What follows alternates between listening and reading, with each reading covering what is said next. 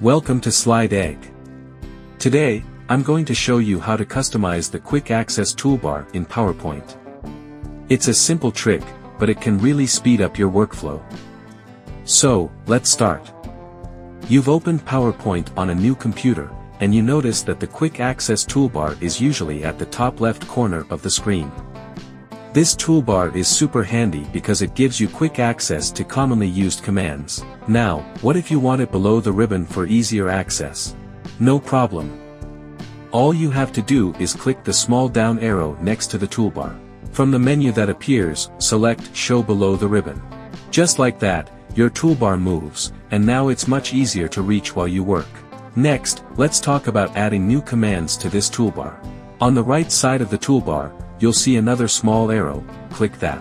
Then, select More Commands. A panel will open up, giving you a list of options to add. Let's say you want to add something, just pick the command you want and hit Add. That command will instantly show up on the right side of the toolbar. When you're done, click OK. And just like that, your quick access toolbar is now customized with new commands that make your work easier.